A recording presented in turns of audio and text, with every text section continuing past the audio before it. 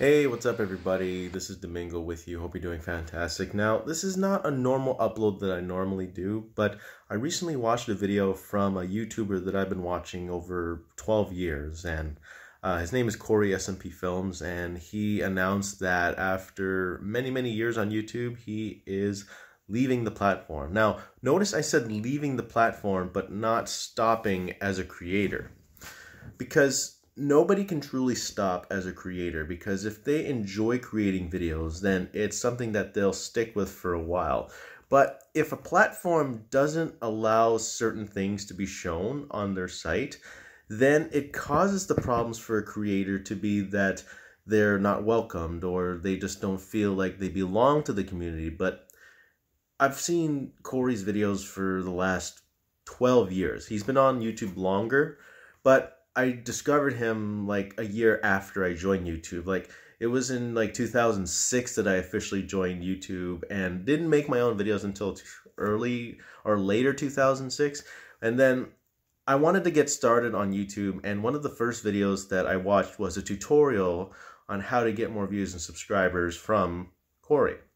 And he made this tutorial where he simplified it and he talked about how subscribers are like a certain part of it and collaborations are important and also just the general information on YouTube. But since YouTube has changed a lot, it has been it's been pretty interesting to say the least. And he talks about this uh, robot that regulates the content that's shown. Now, a lot of people that have been hit by this YouTube robot or just the whole algorithm their creativity is thrown out. It's lost. It's gone. They don't want people to post content that doesn't fit their criteria. And don't get me wrong. I mean, I like YouTube as a platform, but for my fellow creators out there, it's hard to make something and to produce content and for YouTube to just shut it down because it doesn't meet their guidelines. Now,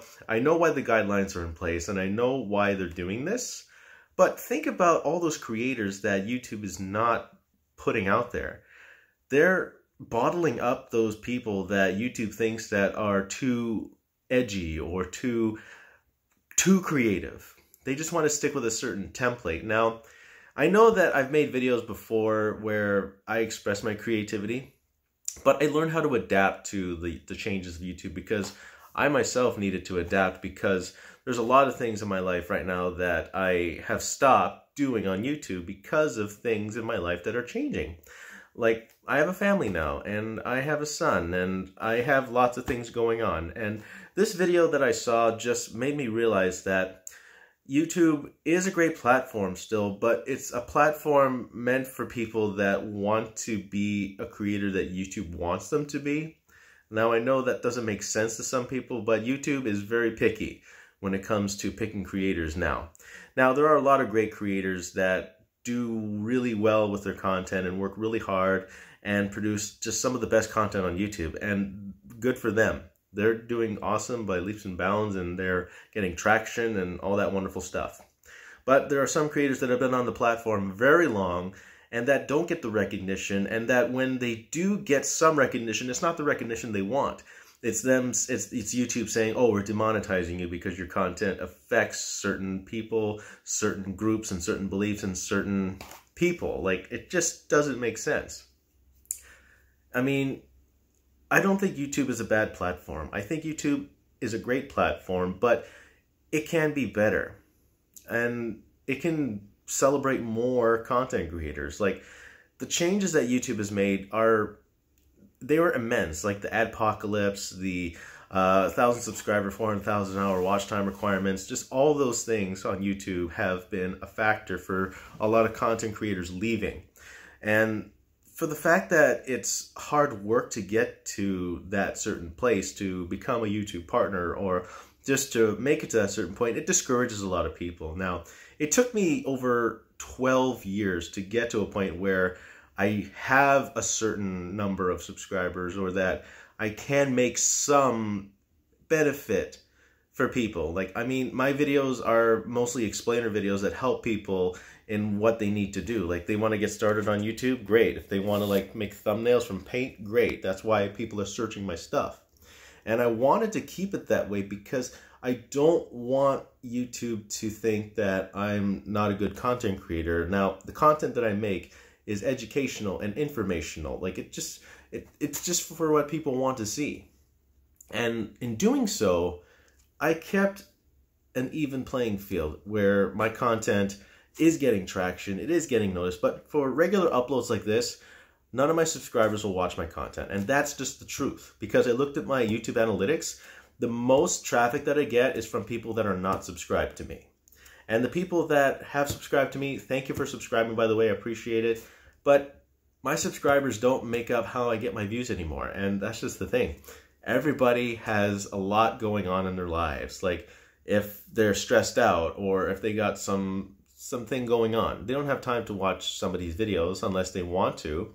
And I don't want people to subscribe to me if they don't want to watch my videos. If they don't want to watch my videos, then they can just not subscribe. Or if they want to watch, they can just click on it and watch. And then if it helps them, if they can leave a comment. And if it doesn't help them, then they can just find something else. That's what YouTube is about. You can just click on something and then you're like, oh, I don't like this. Pick something else. That's what YouTube is there for. And that's what YouTube is still about to me. And you can pick whatever you want to watch. It just doesn't appeal to everybody. And I'm trying to look at the lens here because it's a weird orientation set up here. So I'm not ignoring you. I'm just, my eyes just wander. But for those that are still on the YouTube platform and that are still doing YouTube, don't give up. And if you feel that the platform is not working out for you, then you can find another platform while sticking to YouTube. I mean, YouTube will probably make some big change that will promote better growth for other channels. But right now, I don't want to leave this platform, and I shouldn't leave this platform because of the potential opportunities that I could receive. And I have received a lot of help from people over the years I've been on YouTube and a lot of support. And just because just because I don't post enough nowadays doesn't mean I'm going to be active and commenting and subscribing and liking new channels. There's a lot of new channels that I haven't seen on YouTube yet, and that's the big thing. It's great that content is still being made on YouTube, and it's freaking awesome that people are still doing YouTube and doing what they love and sticking with the platform. And for those that are sticking with the platform, good on you. And it takes a lot of mental health, it takes a lot of guts, it takes a lot of blood, sweat, and tears to make that content. And it is not easy. It is just the hardest thing that you could ever do as a YouTuber. Like, I'm not an OG YouTuber, but I started like in 2006 when YouTube started becoming a thing. So, in closing, I just wanted to say to Corey that you do you. You do what you do best. And I've always admired your content and your passion and your drive and your creativity, but you need to focus on your mental health as well. And for you to articulate that so well, I'm sure it wasn't easy to say to everybody because there's a lot of people that enjoy your content and that your audience is not as there as it was in the early days where everybody was watching and that how you got all these perks to being a YouTuber that was original. And I don't know if you're going to watch this, but I just want you to know that you've been a big part of me starting out on YouTube. You've given me the foundation to start knowing finding out how to edit videos and to start learning about YouTube and to start collaborating with people and the experiences that I have had years prior, I owe it to you, Corey, and I want to thank you for that. And um, you've just been a big part of my YouTube life, and I hope to see you on your new platform. And I would love to see your work on that new platform or another platform. And I would love to see that because you've just been such a big part of my YouTube life, and I want to know what's going on, not in a creepy stalker way, because I, I have a son too. I have a son, and he takes up a lot of my time. He's uh, about five. He'll be four months. He's four months old, and he's just the cutest little thing that you that you'll ever see. And he was in a few of my videos, but just in the backside. I don't want to show his face. Well, you can see his. Never mind. Just wanted to say thank you, Corey, for helping me become a YouTuber and for me to just keep pushing through and to keep adapting to things and just to keep on. And even though I don't post as much, like I said before, you've been a big part of it. And I wanted to thank you. And also to my subscribers or whoever watches this, thank you again for watching. And uh, don't forget that there are things in this life that will be hard, but if you keep sticking with it, then it'll come, you'll come through. So everybody, thank you so much for watching. And next week will be another video on Money Making Monday.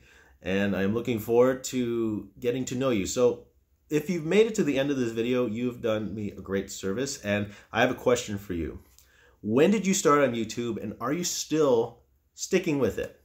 So that's my question to you. Leave it in the comments below and I'll see you next time for another video. Peace out.